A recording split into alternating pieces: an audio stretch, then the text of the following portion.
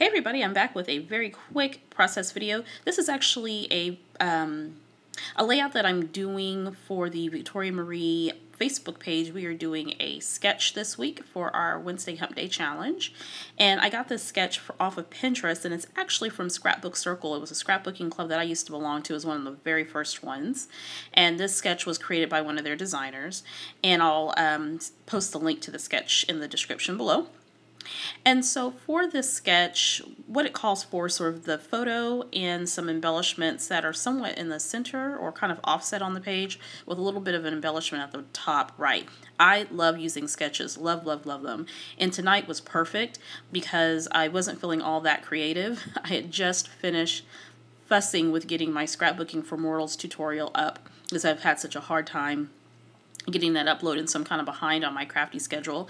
And so um, I thought it would be fun to do a, um, a sketch challenge because those are very, very popular on my Facebook page and we haven't done one in a while. So what I'm using is um, the background papers from Amy Tan and that striped blue papers from Amy Tan as well from Rise and Shine collection. I believe the um, wood grain paper is called Chloe and that striped paper is called Lucy.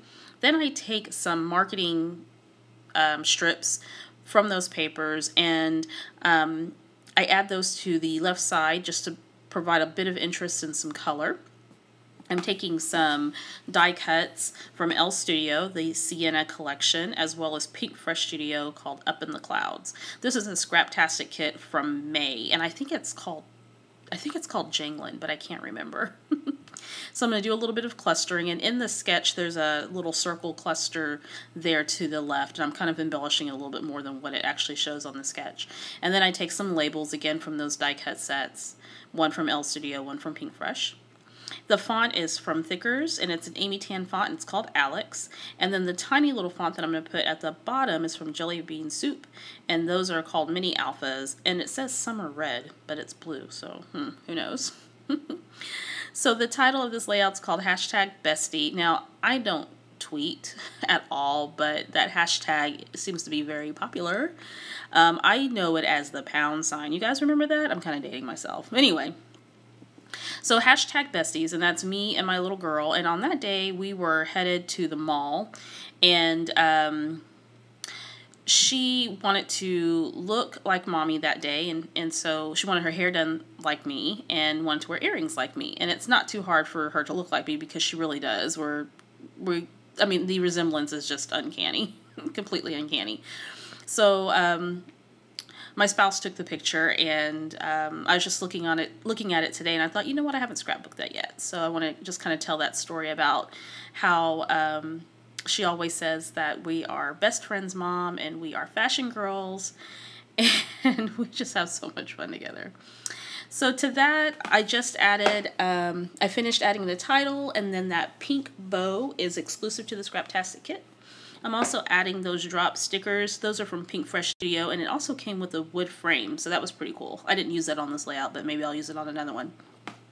At the top, I clustered some embellishments as well using that drop sticker and a couple of the die cuts. I'm adding some journaling lines to this. And in the journaling, I'm going to say, I always wanted a little girl who looked just like me. Well, I totally got what I asked for. It is uncanny how similar we look. On this day, you wanted your hairstyle just like mommy, and you had to wear your had to wear earrings just like mommy. I love these moments. Now, her ears are not pierced. She was wearing clip-on earrings, but you know, it doesn't matter.